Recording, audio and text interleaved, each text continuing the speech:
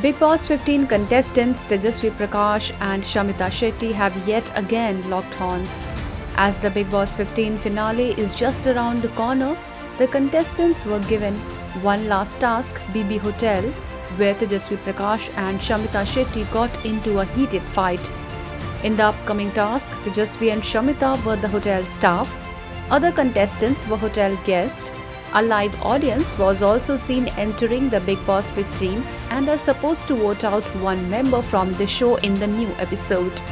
During the task, Tejasswi was supposed to give a massage to co-contestant Karan Kundrra, who was not impressed by her skills and said, Which hotel staff does this? This is such a bad massage she is giving me.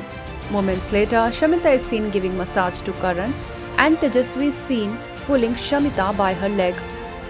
Tejasswi gets insecure and says, It's Karan Kundrra and not Rakesh Bapat. You have never taken any task seriously before that.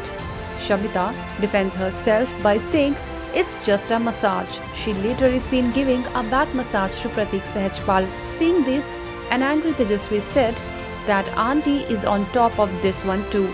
This bothers Shamita, who retaliates, saying, There is an audience here, we are doing it for them. Respect the audience. It's a task and you have no business calling me an auntie. After this, Shamita points finger at Karan and says you should be ashamed that you did not take up for me. Tejasswi is crossing her lines and because of you I keep my mouth shut.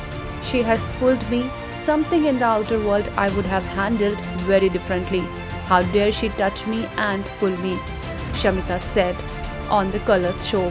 Karan Kundrra remained confused as whom to support in the big fight. Bigg Boss 15 airs on Colors.